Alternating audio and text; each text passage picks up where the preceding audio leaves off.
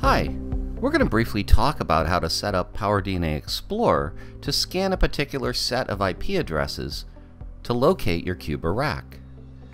Under Network, Address Ranges, you can configure a range appropriate for your IP address settings.